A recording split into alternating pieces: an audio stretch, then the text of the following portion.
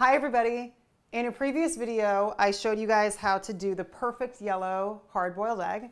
And now I'm gonna share another family recipe with you guys, which is our egg salad recipe. As some of you might know, I'm half Russian Jewish on my father's side. So growing up, my father was an orthopedic surgeon, and whenever he had breaks, which was not many, he always loved to take us to a Jewish deli named Larry's Deli. So we would love pastrami on rye, and we would get egg salad and big pickles, you know, all that stuff. So my mom made an amazing egg salad recipe and she taught me how to do it and now I'm going to share that with you guys. So one of the things, she would not approve of this, but I'm going to explain why. So this is one of my favorite gadgets, okay? A little sidebar on this. So I used to be an avid poker player and I used to have games at my house every night. So one of my friends in particular, we were playing and he busted out and crashed on the couch and he ended up crashing on my couch for five years. So he became my roommate. And he would do different odd jobs and stuff to kind of make ends meet. And one job that he had was selling choppers at the mall. So I had never used one of these before, but he brought one of these home as a gift for me. And I love it. I'm obsessed with it.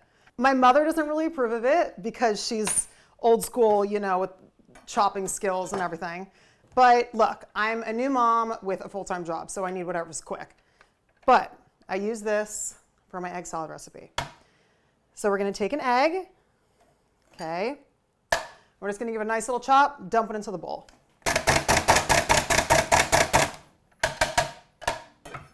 Okay. And you just wanna continue to do this with the rest of your eggs and put them all in this bowl and then we'll mix from there.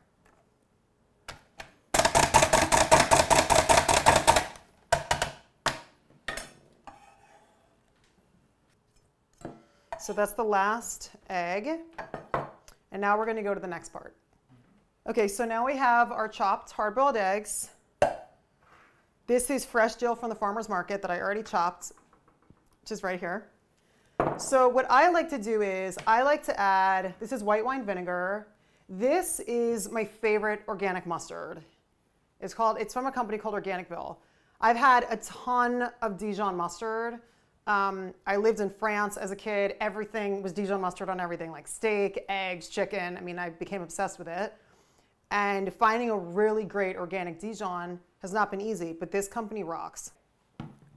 And this is a mayonnaise that I like to use. Um, I don't put a lot of mayonnaise in the egg salad, but you definitely want to have it to add creaminess, so you want a little bit of it. Um, but I tend towards not leaning too heavily on that. So I have my salt and pepper, my dill, mustard, mayonnaise, my white wine vinegar.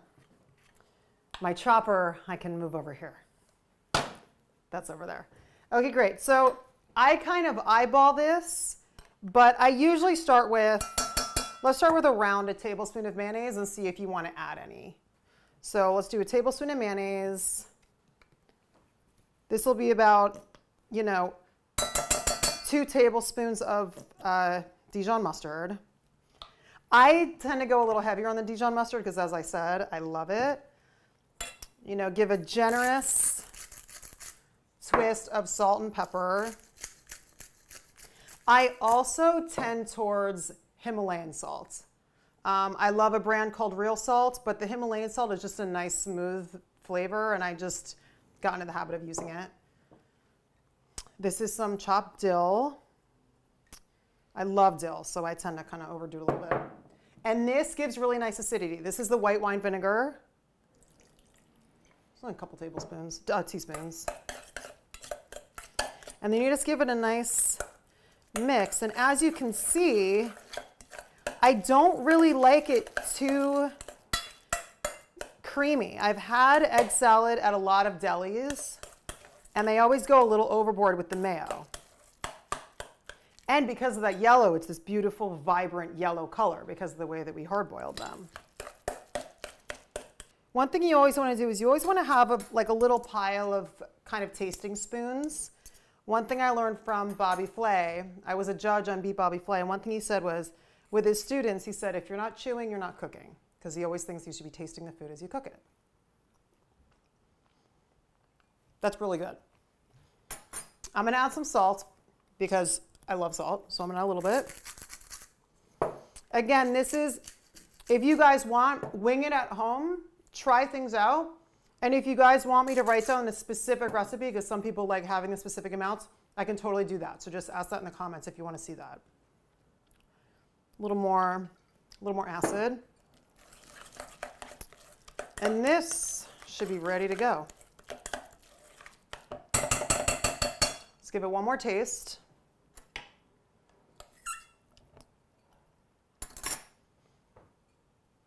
It's pretty good. So one thing that I do when I'm on set, easy snack, this is like an easy go-to, is I, I always love crunchy with something kind of smooth. That's my, I just love texture. So this is a fresh heirloom tomato that I got at the farmer's market yesterday.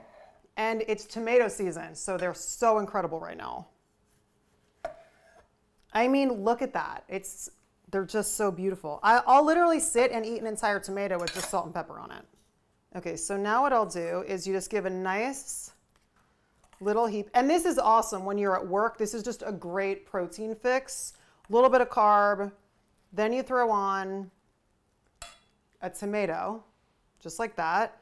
And I like to hold it like a sandwich and eat it. So one thing I love to do is whenever I'm doing any kind of like burgers or anything that I'm not doing a bun with, I always just plop some lettuce on top because that's always a good, it gives you a good kind of handle on it. And this is a great snack that I do.